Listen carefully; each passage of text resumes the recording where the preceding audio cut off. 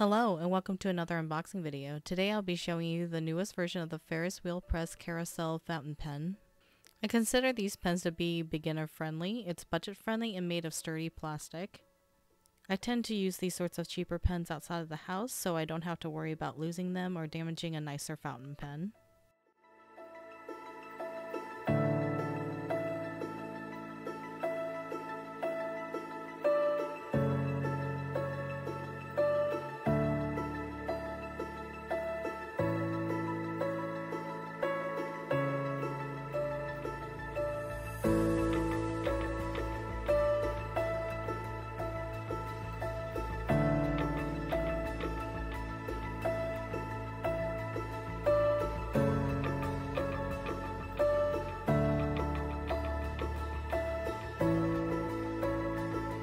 Thank you so much for watching this stationery unboxing. If you like the video, please give a thumbs up. It lets me know that you want to see more videos like this one. If you want to keep seeing my videos, be sure to also subscribe and click on that notification bell so you know when I upload my next video. Until next time, goodbye.